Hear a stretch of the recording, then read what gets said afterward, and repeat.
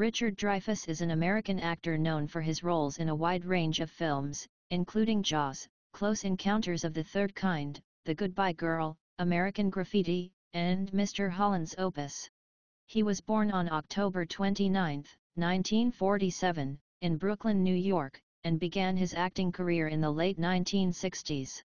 Dreyfuss's performance in The Goodbye Girl earned him an Academy Award for Best Actor in 1977, and he has been nominated for several other awards throughout his career, including Golden Globe and Emmy Awards. He is also known for his work in theater and has appeared on Broadway in productions such as The Producers and Sly Fox. In addition to his acting career, Dreyfuss is also an activist and has spoken out on a variety of political and social issues. He has been an advocate for improving education in the United States and has been involved in efforts to promote civics education and media literacy. Furthermore, Dreyfuss has been open about his struggles with drug and alcohol addiction, and has been a vocal supporter of addiction recovery programs. He has also been involved in environmental causes and is a member of the board of directors of the Environmental Media Association. Dreyfuss has continued to work in film and television, with recent roles in shows such as Your Family or Mine, Shots Fired, and The Last Laugh. He has also lent his voice to several animated projects, including the Kung Fu Panda franchise and Phineas and Ferb. Overall, Richard Dreyfuss has had a successful and varied career in the entertainment industry, and has used his platform to advocate for causes he believes in. The Academy of Motion Picture Arts and Sciences is introducing four new diversity and inclusion standards for films to be considered for an Oscar nomination.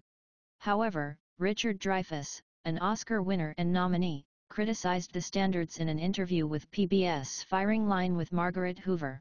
He argued that art should not be subject to the latest moral standards and defended white actors portraying black characters in blackface. He called the standards patronizing and thoughtless, treating people like children.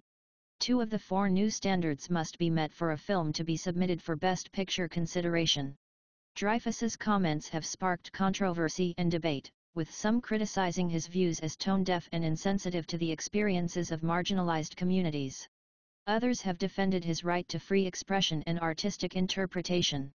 The new diversity and inclusion standards have been seen as a step towards promoting greater representation and inclusivity in Hollywood, which has faced criticism for its lack of diversity both on and off screen. However, some have argued that the standards may be too prescriptive and limiting, and could potentially stifle artistic expression.